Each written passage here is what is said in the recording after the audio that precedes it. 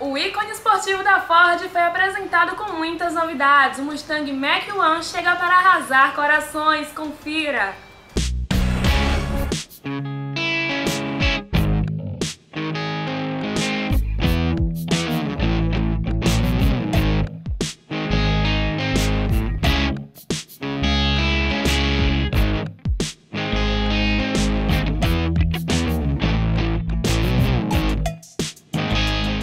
Hoje é um dia especial para a Ford.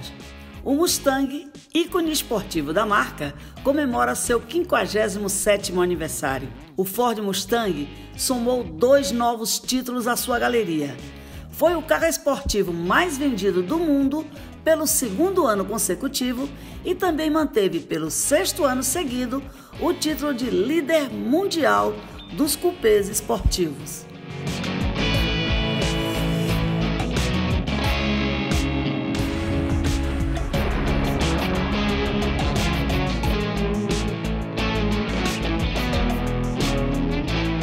Essa semana, através de uma live para jornalistas especializados, a Ford apresentou em primeira mão o novo Mustang Mach-1, que chegará ao Brasil nos próximos dias. Puxado pelo aumento de vendas dos modelos Bullitt, Shelby GT350, Shelby GT350R e Shelby GT500, o Mustang superou todos os concorrentes em 2020.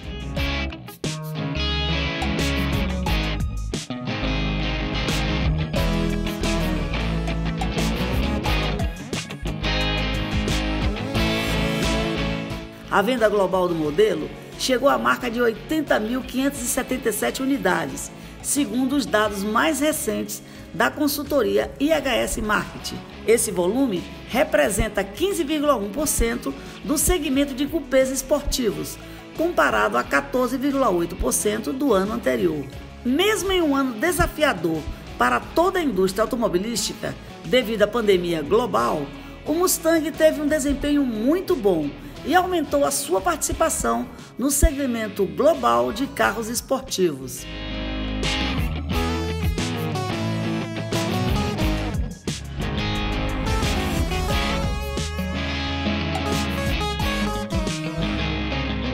As vendas das versões Bullet e Shelby de alto desempenho cresceram 52,7% comparado ao ano anterior, segundo a Ford. O plano da marca é continuar impulsionando o sucesso da linha com modelos de edição limitada, como o novo Mustang Mach-1 2021, que chega este ano ao mercado.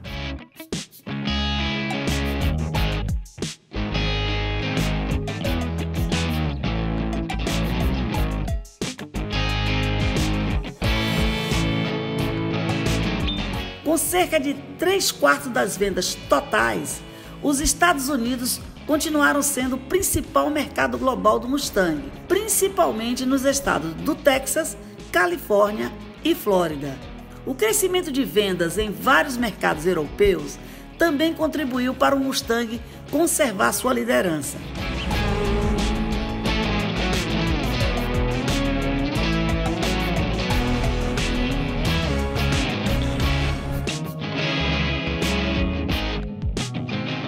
Segundo a marca, em 2020 as suas vendas avançaram 68,8% na Hungria, 38,5% na Holanda, 12,5% na Dinamarca, 5,6% na República Tcheca e 4% na Áustria. No Brasil, o Mustang também foi o esportivo mais vendido de 2020, com 70% de participação. Ele manteve essa liderança desde o lançamento em 2018 com um total de 1.732 unidades e cerca de 80% das vendas.